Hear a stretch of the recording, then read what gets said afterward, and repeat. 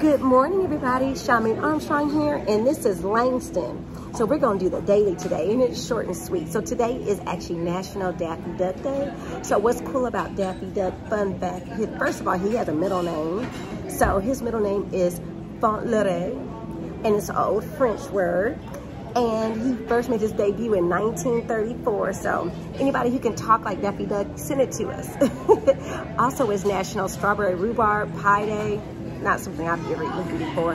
And it's also National Earl Day. So if you know an Earl, you can say hey to them. Other than that, y'all do not forget to kisswealthnow.com and say hey to Mr. Langston. Y'all have a blessed day. Bye.